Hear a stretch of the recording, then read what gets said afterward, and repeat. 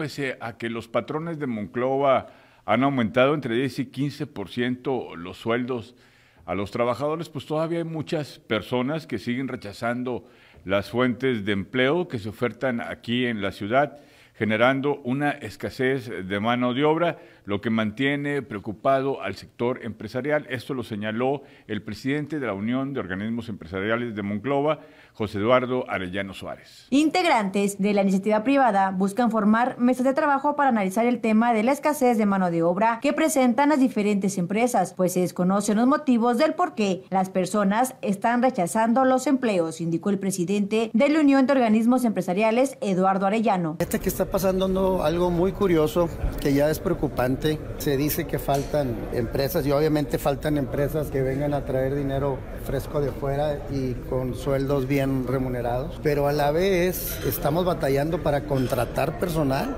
Ya ves que existe la oferta y la demanda y, se está batallando mucho. No hay, ahora que se hizo lo de la bolsa de trabajo, muy poca gente. Entra gente a trabajar y dura dos, tres días. Y como te decía ahorita, por la oferta y la demanda, todos estamos adecuándonos un poquito nuestras prestaciones, las estamos elevando, salarios están elevando y seguimos batallando. No sé, yo no sé si ahora a raíz de la pandemia de ayudas que esté dando el gobierno federal. No sé, sí, sí habría, se lo comenté yo al alcalde. Tenemos que hacer una mesa de trabajo en esto porque es, raro lo que está pasando en realidad. Yo creo que ahorita la mayoría, a, partir de enero, cuando se hacen los ajustes, la mayoría aumentamos entre un 10-15% arriba del, de lo del salario mínimo y, y, pues estamos a la expectativa a ver qué va a pasar. ¿verdad? Aún así no hay respuesta, pero en varios comercios preguntando pagaban, no sé, 2.700 pesos pesos quincenales, que dices tú, es muy poquito en realidad. Y nosotros, las, las, las otras comercios establecidos, estamos arriba casi, casi por semana pagando dos mil pesos. Yo digo, bueno, ¿dónde están, verdad? Y, está muy raro.